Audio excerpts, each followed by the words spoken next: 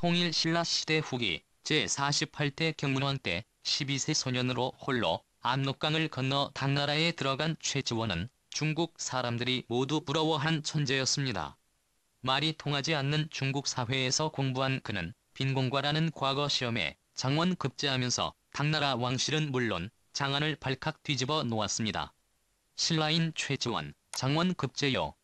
당나라에서 벼슬 길에 오른 그는 계속 학문에 힘쓰면서 책을 저술하였는데 글재주가 워낙 뛰어나서 많은 사람들에게 감동을 주었습니다.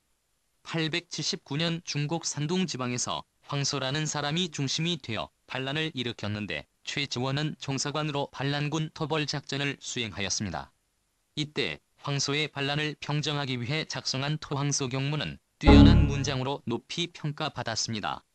885년 최지원은 당나라에서의 모든 영광을 뿌리치고 신라로 돌아왔습니다. 신라에서는 그를 한림학사로 임명하여 환대하였는데 그때 신라의 운명은 이미 기울어가고 있었습니다.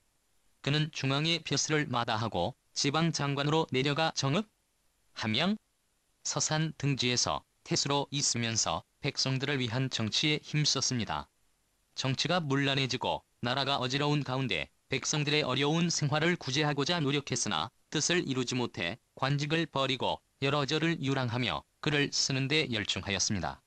이때 개원필경 등 여러 책을 저술하였습니다. 강수, 설총과 함께 신라 3대 문장가로 꼽힙니다.